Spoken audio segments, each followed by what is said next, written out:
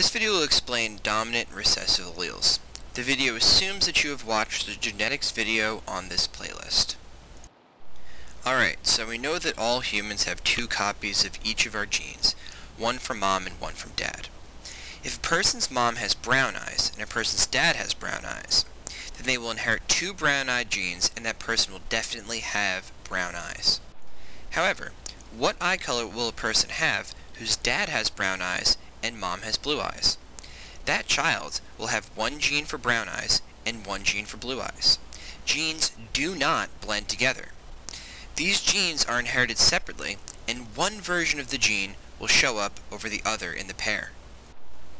It turns out that some versions of a gene will cover up or mask the other in the pair when it is present. A gene that masks or covers up the other gene in the pair is called a dominant allele. A recessive allele is the one that gets masked or covered up when the dominant allele is present. In the example above, brown eyes are dominant and blue eyes are recessive.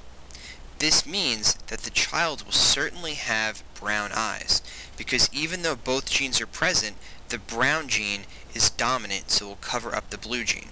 A dominant allele is symbolized with a capital letter, and a recessive allele is symbolized with a lowercase letter.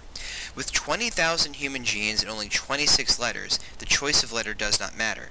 Any letter can be used for any gene. Since all humans have two versions of each gene, the letters are always written in pairs. Remember that humans have over 20,000 pairs of genes that each must be considered separately.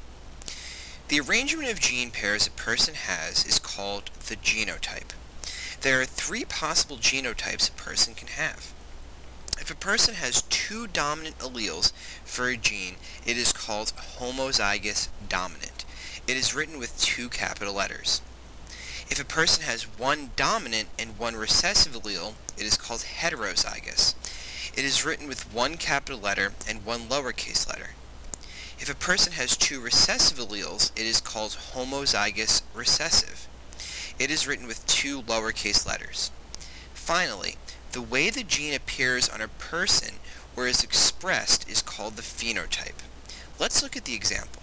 There is a single gene that determines whether a person has attached or detached earlobes. A person can either have a phenotype for detached earlobes or attached earlobes. Detached earlobes are dominant to attached ones. If a person is homozygous dominant, they will have the dominant trait, which is detached earlobes. If a person receives a dominant gene from one parent and a recessive gene from the other, they are heterozygous. The dominant allele takes over and the person has the dominant phenotype, which is detached earlobes. Now, if a person receives a recessive allele from mom and a recessive allele from dad, they will have a homozygous recessive genotype. Since there is no dominant allele present, the person can have the recessive phenotype, which is attached earlobes. Let's look at one more example. A widow's peak is a point in the center of a person's hairline. A person can either have a widow's peak or not have a widow's peak. Having a widow's peak is dominant to not having one. If a person has a dominant genotype, they will clearly have the dominant phenotype of a widow's peak.